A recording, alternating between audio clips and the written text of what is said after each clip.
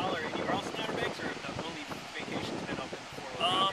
no, you know what? This is my first year in the four-wheel drive area, and so we've been, I guess, Southern Shores was our first time that we all got together with this group, and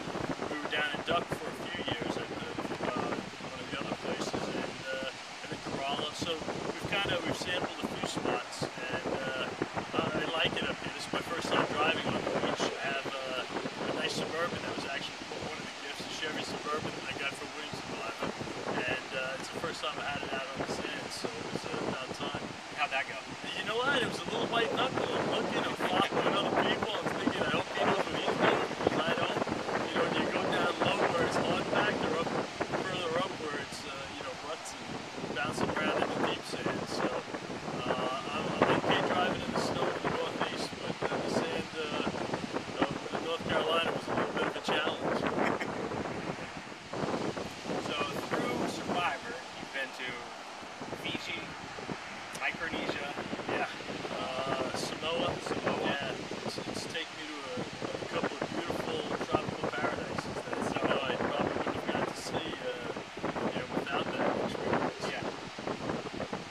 How would you say?